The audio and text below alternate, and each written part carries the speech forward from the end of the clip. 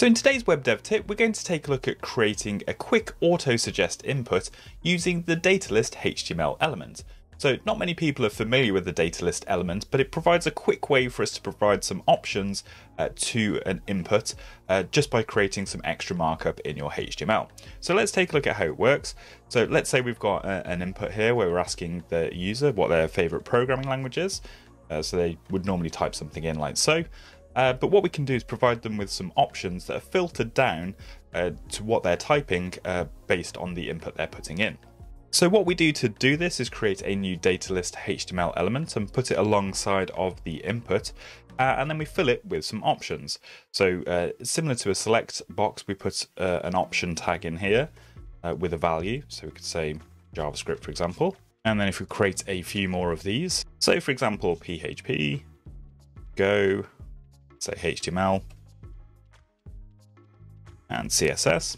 And if we save that, you'll see there's actually no difference here. We're not getting any of those options in here if we start typing uh, JavaScript, for example. So we need to link the data list to the input. The way we do that is by going to the data list uh, element and giving it an ID.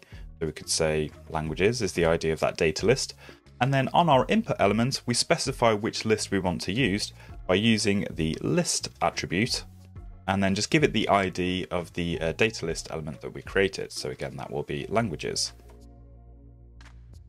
Now if we go over to our page and click into the input box, you'll see we've got this list in there already. So you can just select one of the list uh, items from the data list. But also if you start typing, so if we type J for example, it will filter the list down to anything that matches it. And it's quite a crude matching. I think it just matches anything in the string. Uh, so for example, if we were to type S, uh, we're going to match JavaScript and also CSS as well. But as a quick win, it's uh, really useful uh, just to provide some helpful options to the user. And of course, we haven't had to use any JavaScript to achieve this either.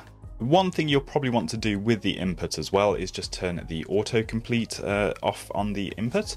So autocomplete equals off. And that makes no difference to our input at the moment. It can cause problems in some browsers uh, if they're trying to auto complete a field, uh, and you've also provided with a data list as well.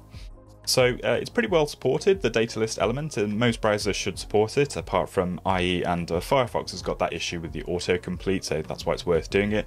But other than that, everything else should be okay. So there you go, that's the data list HTML element and how you can use it for an auto suggest for your inputs. Stay tuned for more web dev tips.